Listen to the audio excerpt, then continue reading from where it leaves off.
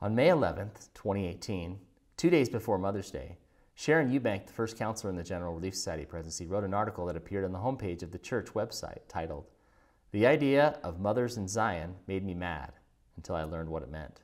In the article, she said, I truly feel sorry for men on Mother's Day. This holiday, meant to honor and celebrate, is more often an emotional and spiritual minefield for almost everyone. Women who have no children or who wanted more children, or maybe different children. Women who feel they are failing, or that someone failed them, or that failure is around the corner.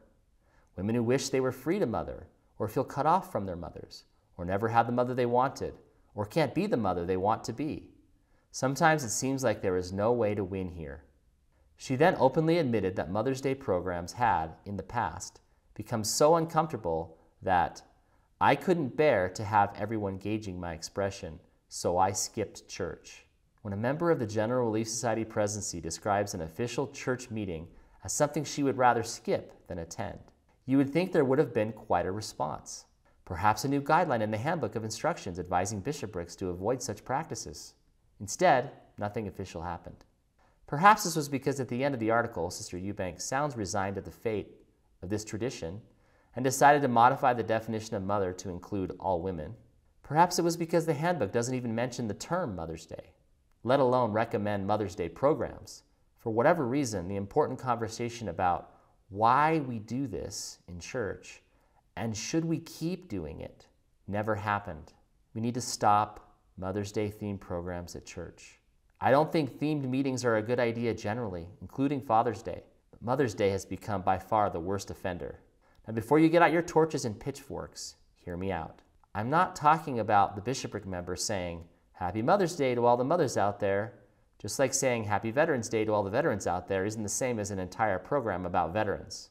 I'm talking about the kind of meeting where the opening prayer goes like this We're grateful to be gathered here for this special Mother's Day program and when the bishopric member conducting welcomes you to the special Mother's Day program, where all the speakers are assigned to talk about their mothers. The musical numbers are about mothers, and after the meeting, gifts are handed out to all the women.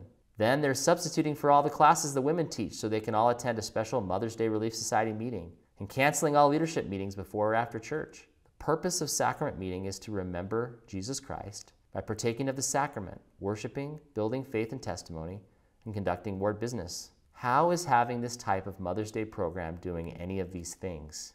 Instead, what we end up doing is one, making people who would otherwise be at church not want to come, like Sister Eubank. Two, creating an environment of comparison where many women feel inadequate when compared to the greatest hits of motherhood shared from the pulpit. Three, modifying the definition of mother so that it loses its meaning. Four, spending sacred tithing funds on Mother's Day gifts. By the way, nothing in the handbook says ward funds can be used for this.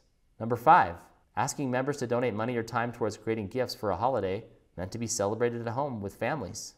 Six, causing businesses to be open on Sunday, like the time my ward ordered 200 chocolate cupcakes from the local bakery for Mother's Day gifts. When the bishopric member went to pick them up Sunday morning, the order had been misplaced, so the manager made all his employees come in, they were all home with their families, to make them, so our ward could still hand them out that day. Let's just leave it to families to celebrate Mother's Day at home in their own way. I'm not against Mother's Day. People can still honor their mothers, and we can leave the emotional and spiritual minefield out of our church meetings. Instead of dreading church on Mother's Day, wouldn't it be a wonderful gift to all members if they knew church would just be focused on the truths of the gospel? We won't be anti Mother's Day if we leave the celebrating to the individuals and families at home and just let church be church. Thanks for watching.